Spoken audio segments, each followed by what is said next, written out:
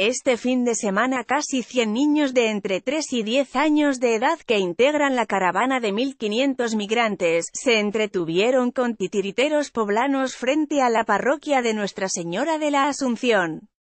Pasé por Honduras, El Salvador, Nicaragua, por todos estos países de Centroamérica y por supuesto México, Estados Unidos, Canadá y toda América, relató Ángel Ledezma, uno de los titiriteros.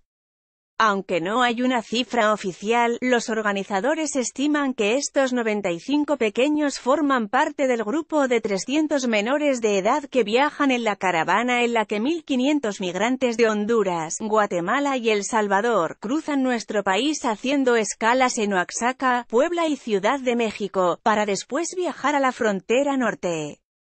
El mismo Trump tiene que aceptar cuando les lleguen a la frontera y se entreguen, los que ya tienen todas las características, el perfil y los papeles, los tiene que recibir, no es si quiera o no quiera, son tratados internacionales, afirmó Gustavo Rodríguez Zarate, párroco de la Iglesia de Nuestra Señora de la Asunción, en Puebla.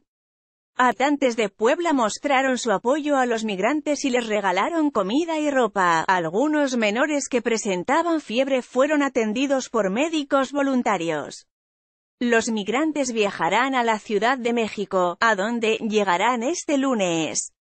También le, embarazada intenta llegar a Estados Unidos en caravana migrante con información de Francisco Santa Ana LH.